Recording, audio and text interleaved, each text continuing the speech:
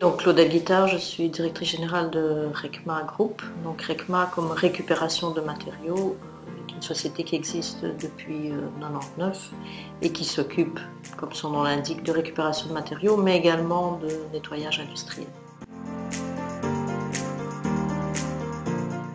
Donc c'est un contexte de, pénurie de personnel encadrant chez nous, euh, où il fallait procéder à des engagements urgents.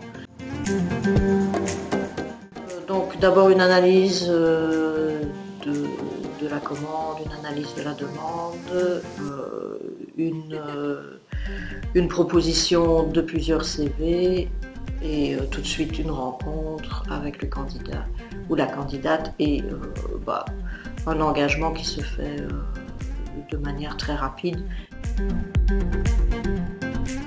Euh, effectivement, la proximité, parce qu'on se rend bien compte que c'est une société euh, qui est issue du, bassin ici, qui, qui, a rebondi sur les difficultés économiques qu'a connues le bassin.